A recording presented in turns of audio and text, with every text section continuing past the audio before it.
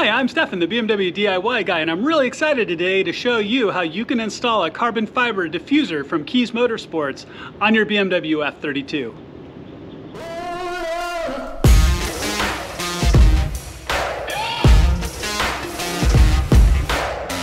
All right guys, just a quick walk around. So, you know, I've got a video out of replacing the M Sport uh, front and rear bumpers that I've already done, but I've decided to take my car one step further and go ahead and install the carbon fiber diffuser.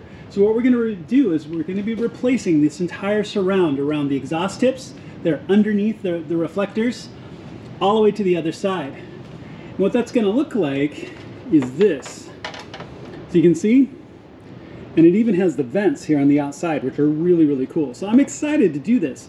Now, as you can tell, I've got my car up in the air. You don't necessarily have to do that. Now, I did it to make it a little bit easier to show you the work, but also a little bit, e a little bit easier to take the rear bumper cover off. Because what we're going to need to do is we're going to be pulling a whole series of screws and bolts all down the sides, across the bottom, and then your bumper cover, bumper cover is going to come off. Let me show you how you do that. Okay, so looking here at a low angle, you've got one, two, three 8 millimeter bolts. Let's slide underneath the tail here, which is again why I wanted to have it up in the air. We've got another 8 millimeter here and here, the whole series all the way across. Now, in my case, I also have three 10 millimeter, forgive the lighting here a little bit, one, two, three across. So you're gonna pull this whole series all the way across. Now your car is probably going to be the same.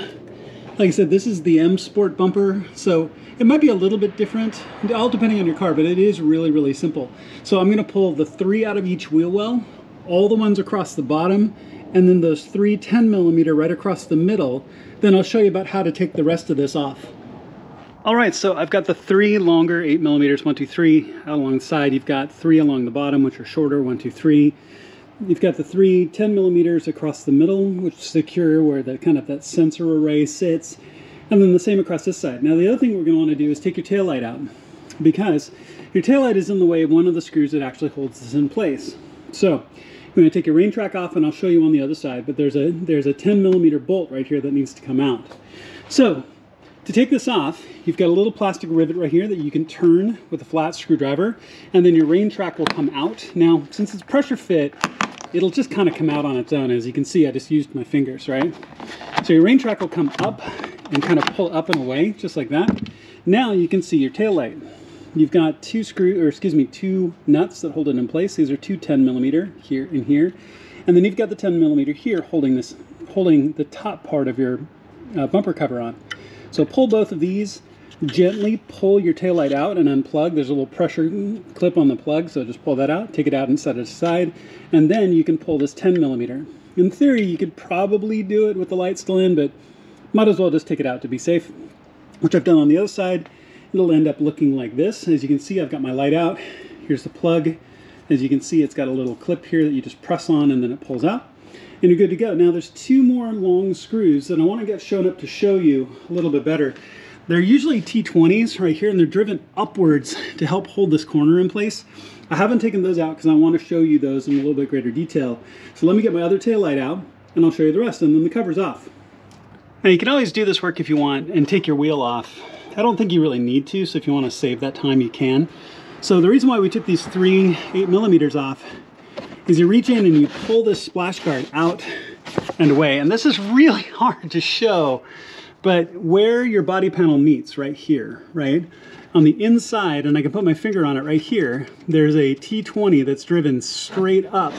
This has a loop on the inside of it, and this bolt is going through the loop to secure this corner.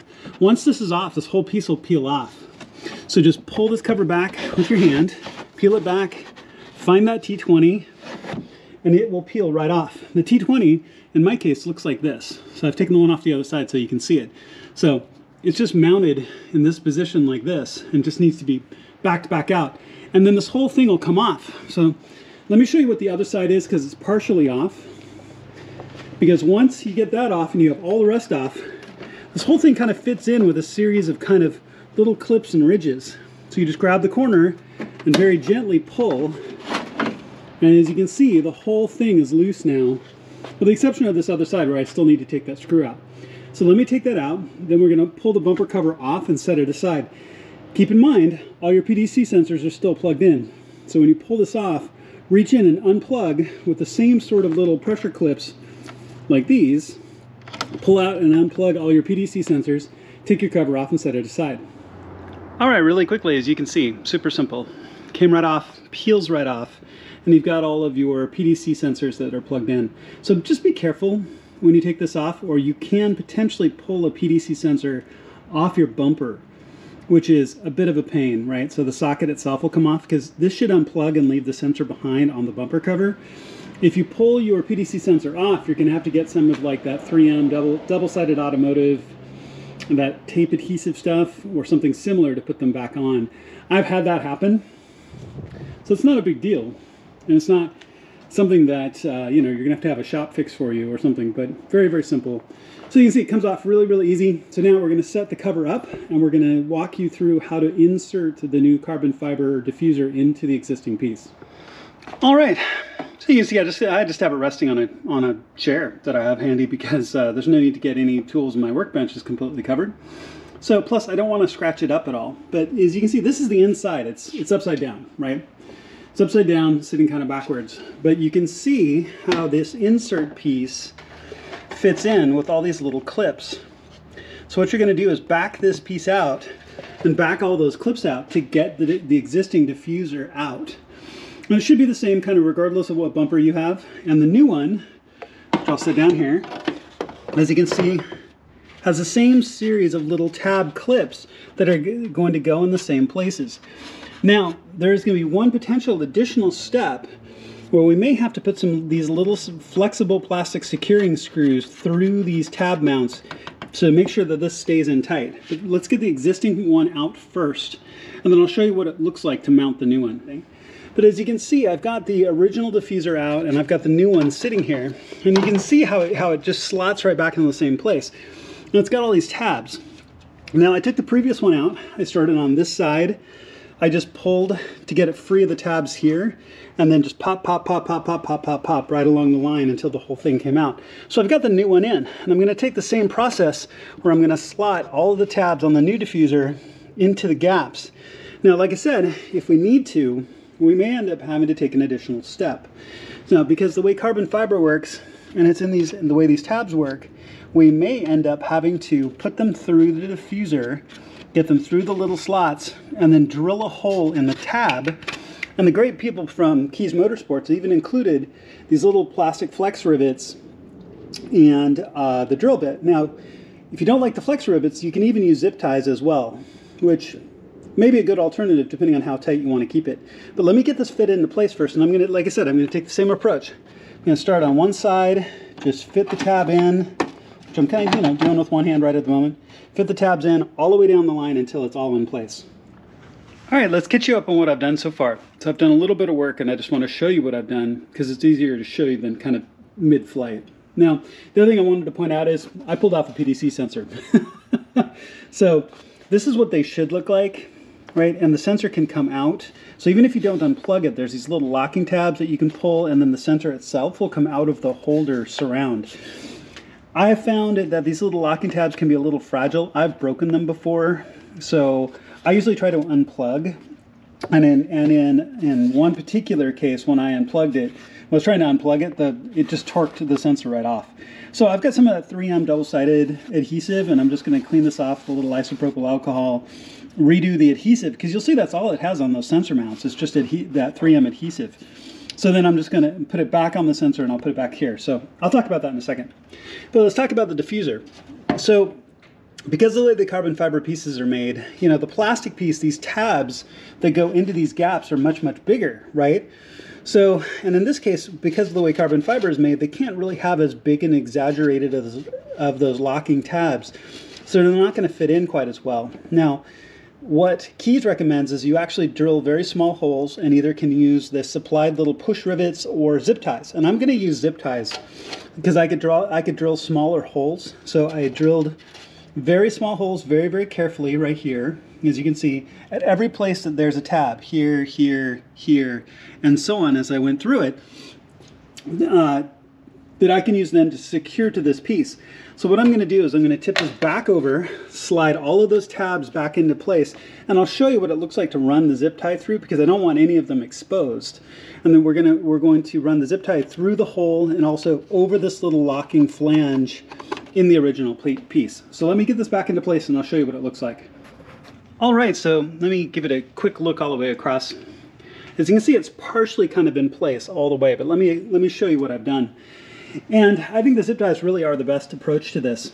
So a couple of them I've got partially done up just to help hold it in place as I was manipulating, manipulating the piece.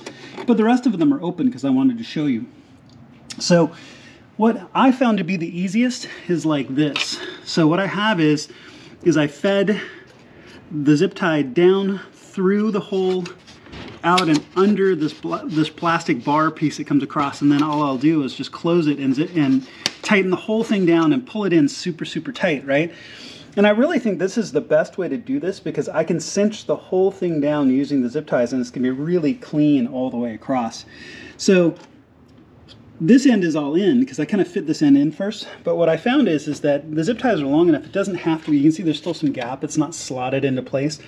I'll do that as I tighten it down. I'll slot, you know, the tabs into the little holes because the zip tie is routed through the hole and it's all good to go and it'll all suck down super tight. And it, it really is that simple. This isn't a hard job. It just takes a little bit of time and a little bit of patience. So let me walk through all this. i am going to tighten it all down and I'll show you what it looks like when it's done. I'll, I'll secure, and you know, I tell you, I really think this is the superior way of doing this because what this allows you to do is when the zip ties are loose, if you have to adjust a little bit, get it straight a little bit, you can as you go. But then also as, as, as it all comes together, you can grab the zip tie and pull and cinch it super tight. So I mean, this piece is in incredibly tight now all the way across. Now, the one thing I will caution you is keep in mind when you drill a small hole through the little tab, you don't have a lot of material at the top of that hole, right? So if you're really just sawing back and forth on this, you could break the hole that you just created. So, you know, tighten it down, straighten it out, tighten it down. Make sure that the tension that you're putting on with the zip tie is on the zip tie itself and on the plastic, not on the carbon fiber. Okay? So all the way down, all the way across, in super tight. I love it. This is gonna be great. I really do think this is the superior way of doing this. So now I'm gonna snip off all the little tails that I've got and then I'm also going to secure my PDC sensor. I'll show that to you just because it wasn't part of my original product or project. but just in case you've got the same problem, uh, I'll show you how to fix it. So let me grab those parts, let me snip off the ends of my zip ties, and then we're almost done. All right, some really quick, uh, you know, related repairs I mentioned. Here is my PDC sensor. I've got the double-sided 3M, that automotive, automotive adhesive. Now, the one thing you want to make sure to do is get as thin as you can get because if it's thick it's going to stand it's going to make the sensor you know in deeper inside your bumper and it's going to be set back a little bit. So you want to get the thin really the thinnest you can get. And then just put it on. Obviously I've still got the red I've still got the cover you know one side of the of the, of the protector protecting cover on right now because I'm going to peel that off before I put it down. But it really is that simple. Just get it all the way around. You can tell I just kind of used used pieces got it to match so I'm going to set this into place. And really all we've got next is just uh, putting the bumper back in place. So let me show you how you do that.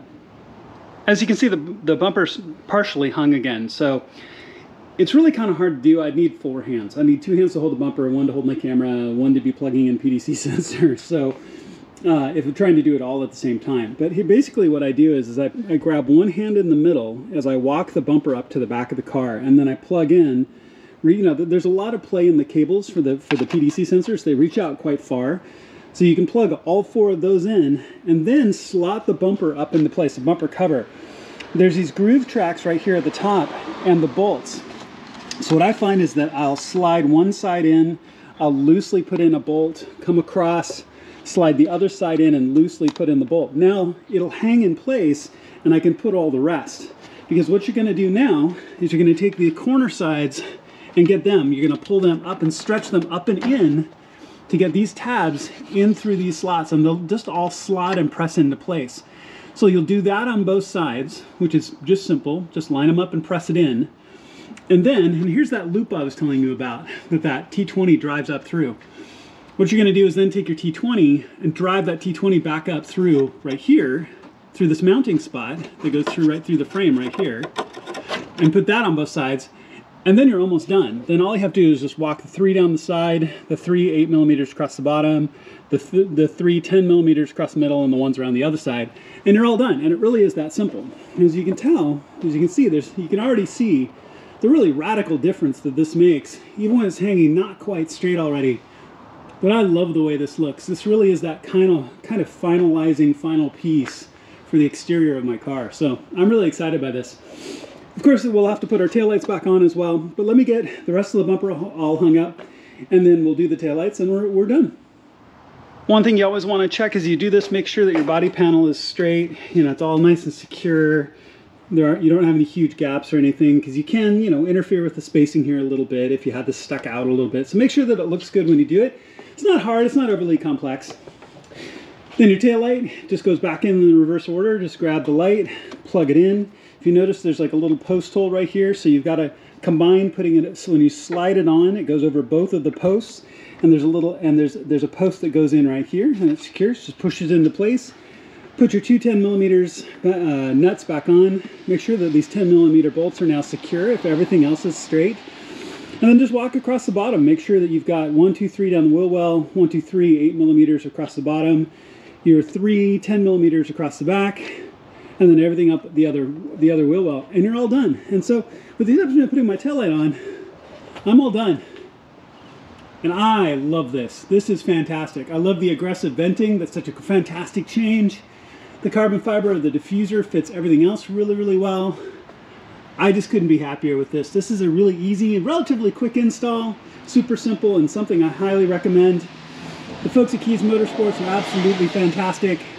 And if you ever end up having any questions, I'm sure they'll be glad to help you out. So, I'm just going to finish up. You do the same. Put your tools away and you're all done. One a quick additional side note, don't forget your rain track. You notice there's a little groove on this side, so you're to fit it in as you slide it in.